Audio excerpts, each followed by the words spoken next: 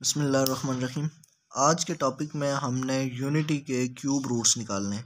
Unity का मतलब होता है वन तो वन के क्यूब रूट्स हमने निकालने हैं और ये पूरा मेथड हमने डिस्कस करना है कि कैसे किसी भी नंबर के क्यूब रूट्स निकाले जाते हैं। और यहाँ पे तो हम वन को देख रहे हैं कि वन के क्यूब रूट्स कैसे निकाले जाते हैं।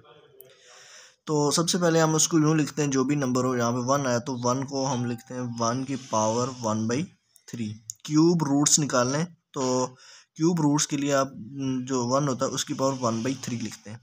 या आप इसको ऐसे भी लिख सकते हैं, वन पावर अंडर रूट ये अंडर रूट का साइन डाल के और इसके ऊपर यहाँ पे थ्री लिखते हैं। इसका मतलब भी ये होता है कि वन की पावर वन बाई थ्री। तो ये रेडिकल फॉर्म होती है, ये एक्सपोनेंशियल फॉर्म होती है। खैर, इनका एक ही मतलब है। अब आपने इसको आप छोड़ दें। अब दोनों तरफ़ taking cubic power on both sides दोनों तरफ़ आप क्यूबिक पावर ले लें तो यहाँ पे आ जाएगा एक्स क्यूब और यहाँ पे वन की पावर वन बाई थ्री की होल पावर थ्री आ जाएगी। ये आपस में कैंसिल हो जाएँगे। यहाँ पे आ जाएगा X cube equal to one और वन को हम दूसरी तरफ़ ले आएँगे तो ये X cube minus one equal to zero आ जाएगा।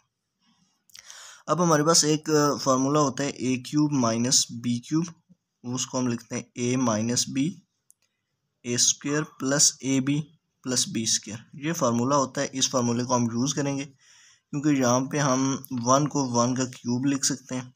क्योंकि वन का क्यूब वन के इक्वल होता है। अब A cube minus cube B cube बन गया। तो इसको हम ए माइनस बी ये फार्मूला हम ओपन कर रहे हैं। ए स्क्वेयर ए की जगह एक्स स्क्वेयर है। और plus A B X one को मल्टीप्लाई करेंगे। एक्स आएगा प्लस बी स्क्वेयर वन का स्क्वेयर वन ही है इक्वल टू ज़ीरो अब ये दो टर्म्स इक्वल टू ज़ीरो हैं तो इसको अलग से ज़ीरो कर लेंगे और ये वाला अलग से ज़ीरो हो जाएगा।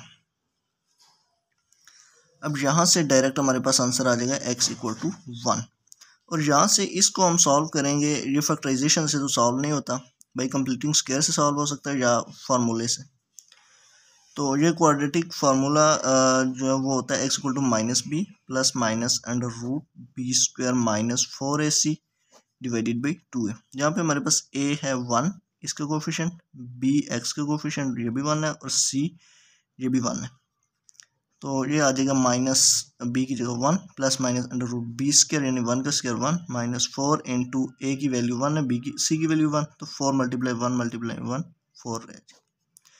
टू इंटू वन टू और ये आ जाएगा minus one plus minus under root minus three divided by two इसको फर्दर हम लिख सकते हैं minus one plus minus under root three और माइनस वन अंडर रूट को माइनस को हम अलग कर दें तो ये आयोटा बन जाता है। यानी कि थ्री रह जाएगा माइनस जो होता है तो ये आयोटा के बराबर आ जाता है माइनस अंडर रूट यानी कि इसको हम यूँ लिख सकते हैं थ्री अंडर रूट और माइनस वन अंडर रूट अलग हम डाल दें तो अंडर रूट थ्री तो वैसे आ जाएगा, इसकी जगह आ जाएगा iota whole divided by two अब यहाँ पे दो आंसर हैं। यहाँ पे एक तो ये है minus one plus under root three iota divided by two और दूसरा आंसर है यहाँ पे माइनस वन या माइनस के साथ. Under root three iota divided by two तो इसको हम ओमेगा कह लेते हैं. इसको हम कह देते हैं ओमेगा स्क्वायर तो इस तरह से एक हमारा पहले आंसर आया था वन तो इस तरह से हमारा जो सोल्यूशन सेट होता है, उसमें ये आंसर आ जाते हैं। वन है, दूसरा ओमेगा और ओमेगा स्क्वायर तो ये क्यूब रूट्स ऑफ़ यूनिटी इनको कहा जाता है। और इसी तरह वन अगर आपको गिवन हो तो उसके क्यूब रूट्स आप ऐसे निकाल सकते हैं। कोई और भी नंबर गिवन हो, उसके क्यूब रूट्स भी इसी तरीके से निकलते हैं। लेकिन मैं आगे एक दो वीडियो और बनाऊँगा जिनमें हम कुछ और नंबर्स के भी क्यूब रूट्स निकालेंगे। तो आज की वीडियो यहाँ तक ही है। अगर आपको टॉपिक समझ आ गया है तो वीडियो को लाइक कर दें और चैनल सब्सक्राइब करें।